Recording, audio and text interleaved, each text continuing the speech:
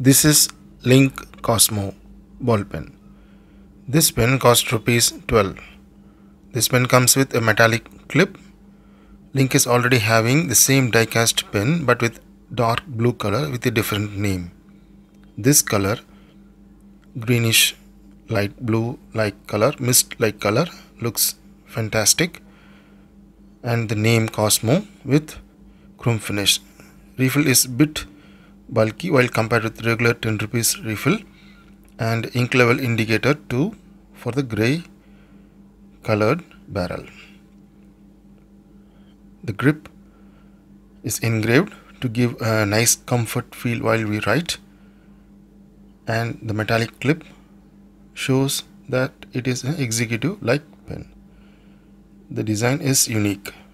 Let's check the writing impression.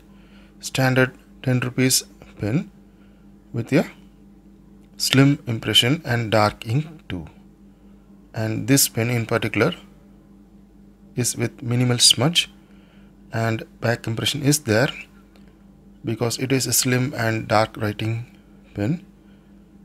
At this price point rupees 12 it is a nice pen with metallic clip and nice grip from Linc. Thanks for watching